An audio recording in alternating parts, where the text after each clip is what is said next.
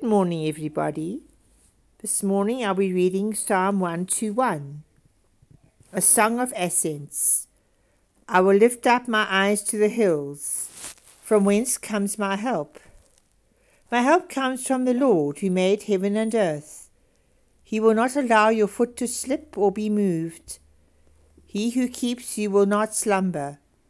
Behold, he who keeps Israel will neither slumber nor sleep. The Lord is your keeper. The Lord is your shade on your right hand.